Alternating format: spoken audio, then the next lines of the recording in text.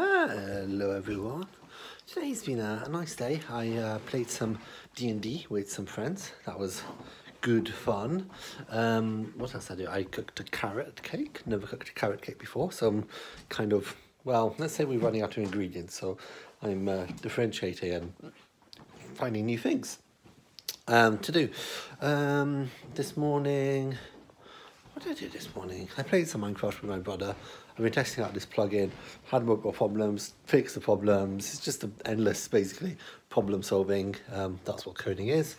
Um, but yeah, overall, quite a good day. I'm, I'm a bit scatterbrained, it seems like right now, but um, I did have a nice day. Um, tomorrow I'm going to go back to work, um, digitally at least. I'm not obviously physically going to go back to work, um, but I'm going to start um, doing some more PhD work and freelance work and that kind of stuff.